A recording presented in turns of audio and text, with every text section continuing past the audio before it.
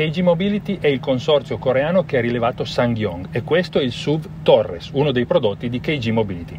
Look aggressivo, forme squadrate, tanto spazio a bordo. Adesso lo scopriamo insieme su Terzo Garage.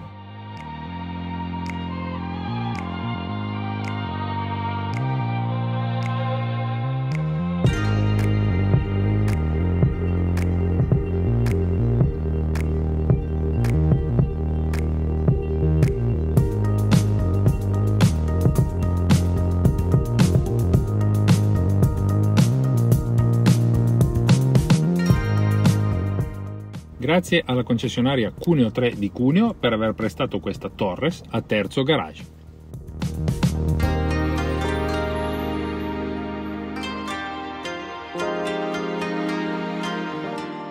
Il design particolare di questa Torres si nota già a partire dal frontale, molto massiccio, imponente, praticamente disposto su tre livelli.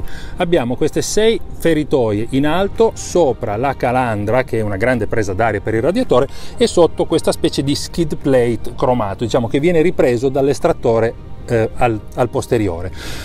La fanaleria, gruppi ottici, scenografici eh, piuttosto avvolgenti, full LED, anche i fari posteriori sono full LED su questa versione, su questo allestimento che è l'Icon, il top di gamma, dove sono presenti di serie i cerchi da 20 pollici.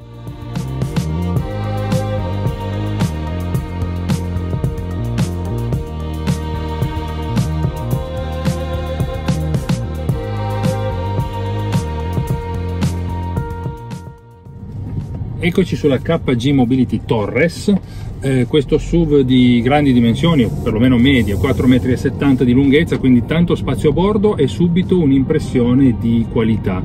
Eh, una plancia intanto molto lineare dove non c'è eh, la palpebra del cruscotto perché diciamo il cruscotto è integrato nella stessa plancia digitale e abbiamo un 12 pollici praticamente con tutte le informazioni quelle del rapporto del cambio automatico, un cambio automatico su questa 6 rapporti, siamo sulla, ehm, sull'allestimento Icon top di gamma, quello base si chiama Rod e poi c'è il Dream, l'intermedio. L'Icon ha di serie la trazione integrale, 4 ruote motrici e il cambio automatico. Invece sulla Dream si può scegliere e sulla Rod abbiamo le due ruote motrici col cambio manuale.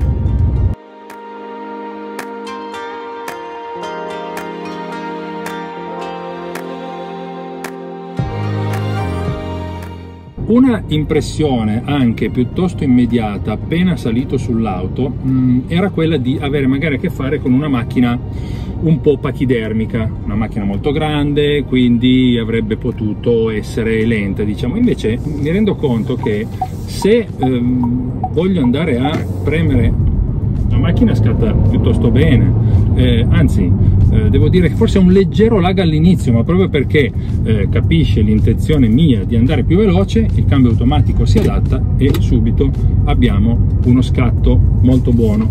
Eh, mi sembra che ehm, KG non eh, abbia comunicato il valore dello 0-100, ma siamo intorno ai 10 secondi, probabilmente meno, che per una vettura di questo tipo, che non è una macchina sportiva, mi sembra un valore più che accettabile. La buona trazione è merito del 1500 benzina a 4 cilindri da 163 cavalli e 280 Nm di coppia, l'unica motorizzazione disponibile al momento in attesa dell'arrivo della versione completamente elettrica.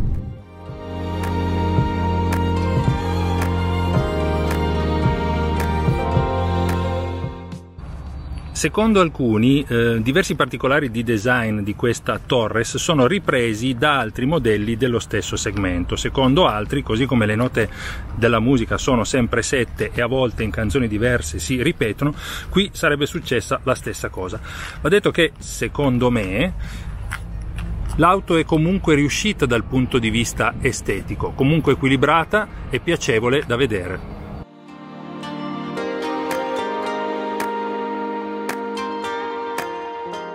Sotto i fendinebbia partono le protezioni di plastica grezza che in pratica vanno a incorniciare tutta la parte bassa dell'auto, dando anche una impressione, diciamo, un feeling di off-road.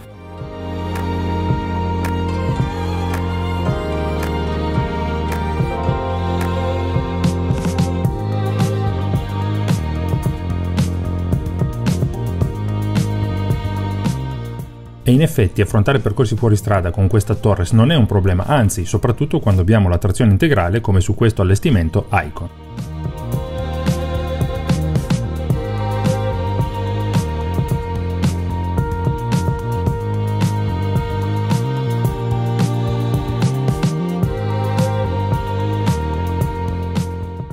Il portellone posteriore presenta questo grande rigonfiamento che ospita la telecamera di retromarcia e ha l'apertura servo assistita.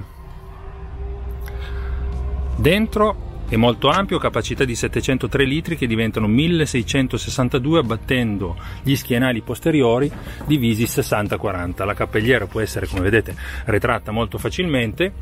Il piano di carico è praticamente piatto, abbiamo delle tasche qua laterali.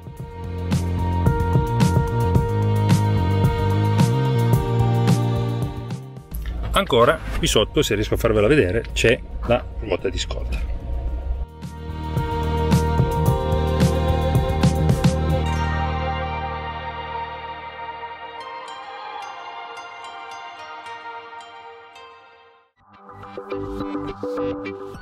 È molto facile entrare e accomodarsi sui sedili posteriori.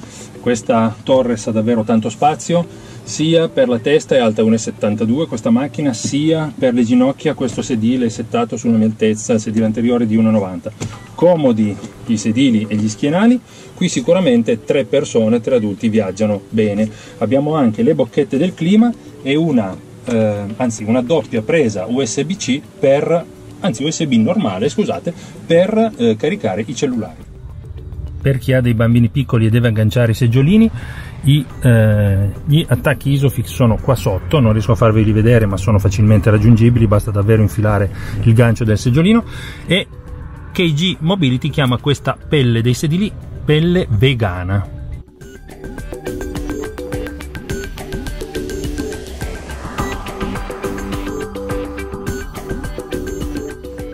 Altro elemento a mio giudizio positivo la chiamiamola rigidità del volante. Non è eh, un volante molle, è un volante che ha un giusto compromesso tra la precisione e la comodità, ecco questo intendevo. Tra l'altro una forma anche abbastanza particolare, con un quattro razze un po' strano, eh, su quelle più alte sono disposti tutti i tasti per ehm, il settaggio dei, degli ADAS, qui abbiamo controllo, ehm, scusate, eh, centraggio di corsia, cruise control adattivo, eh, retrocamera di parcheggio e molto altro e abbiamo anche un sistema anti-ribaltamento che per un'auto di questo tipo è molto importante, soprattutto quando io dovessi trovarmi ad affrontare qualche ostacolo in strada e dovessi eh, improvvisamente sterzare, la macchina ha un sistema che riesce a evitare che io mi ribalti.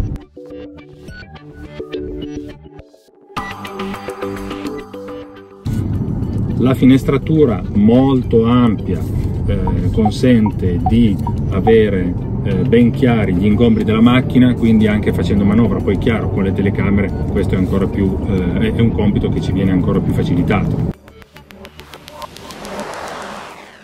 macchina piuttosto importante ma un impianto frenante decisamente buono. Io adesso mi fermerò sto inchiodando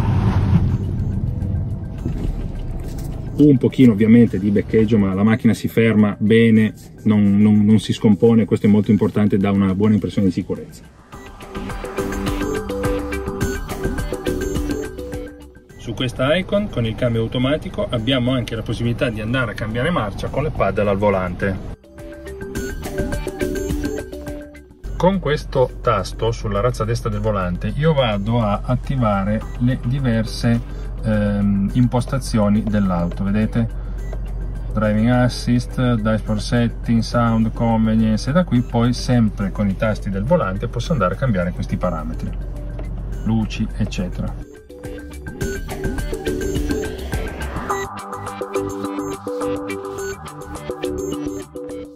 Il navigatore per le mappe sfrutta i dati presenti in questa schedina fisica, che per qualcuno potrebbe significare un ritorno al passato, per me invece è una comodità. Qui non abbiamo necessità di fare aggiornamenti lunghi online, eccetera. Scarichiamo ad esempio la cartografia nuova sul computer, la mettiamo sulla schedina e la mettiamo qui e siamo a posto. Per eh, la gestione del climatizzatore con climatizzatore Bizona abbiamo questo secondo schermo al centro. Possiamo andare a impostare, vedete, la temperatura sia del passeggero sia del conducente, possiamo andare a intervenire sui sedili che sono sia ventilati sia riscaldati. E poi possiamo anche andare a bloccare il differenziale. Qui abbiamo detto, scusate, sulla icon abbiamo le quattro ruote motrici e qui abbiamo il blocco differenziale. È vero che messo qui magari sembra strano però è facilmente raggiungibile quindi è anche comodo da utilizzare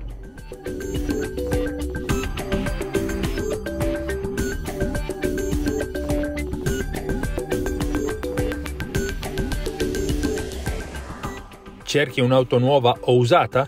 Prova il nuovo portale autoit.it oppure scarica l'app. Ci sono anche gli accessori. autoit.it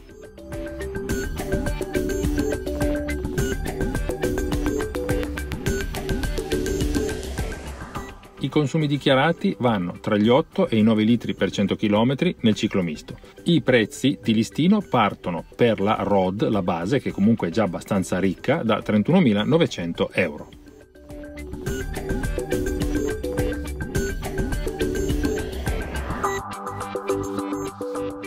con il Torres è tutto, spero il video vi sia piaciuto, magari lasciate un like e iscrivetevi al canale. Ciao, alla prossima, buoni chilometri a tutti!